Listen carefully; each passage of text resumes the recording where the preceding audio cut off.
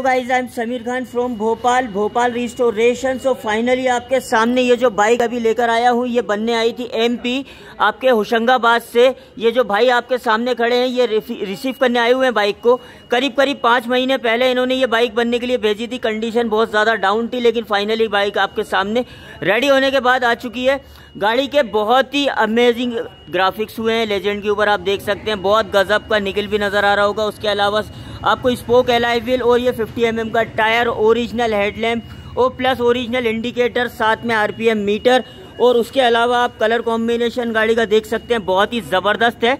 और निकल प्लेटिंग के अलावा बफिंग करवाई हुई है गाड़ी में एक्स्ट्रा प्लेटिंग नहीं करवाई है इंजन गर्म होता है इसलिए। उसके अलावा यू चेचिस के ऊपर आपने देखा होगा, ये अक्सर हम गाड़ियों के अंदर लगाते रहते हैं। लेकिन बाइक के अंदर डबल टेपर सीट के साथ साथ सारी चीज़ें ऐड करी हैं और जो भाई अभी अपनी बाइक लेने आए हुए हैं गाड़ी में अगर किसी तरह की कोई कमी नज़र आ रही हो तो भैया आप बता सकते हैं। आपने अपनी बाइक चला के चेक करी है स्टोक में इंजन में या किसी भी तरह की कोई प्रॉब्लम? किसी प्रकार की कोई प्रॉब्लम नहीं है। गाड़ी बहुत बढ़िया है बिल्कुल सो गया। मज़ा आया? बिल्कुल। कलर में? बहुत शानदार। परफॉर्मेंस में? बहुत शानदार। क्वालिटी कोई? कोई टेंशन तो नहीं? किसी प्रकार कोई अच्छा इसके अलावा आपने बाइक को राइड किया होगा। राइड करने के बाद कैसा लगा आपको? कुछ अलग। मतलब जो ओरिजिनल फील आता है वो आया?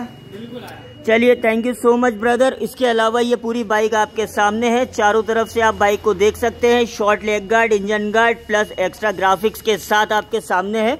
और आपने देखा होगा सेम यही पैटर्न ज़्यादातर हम ब्लैक कोबरा में बनाते हैं। इस बार हमने कुछ अलग करने की कोशिश करी है।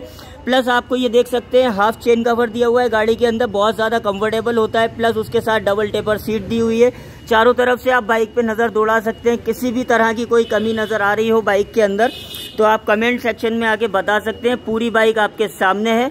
और वीडियो वॉच करने के लिए थैंक यू सो मच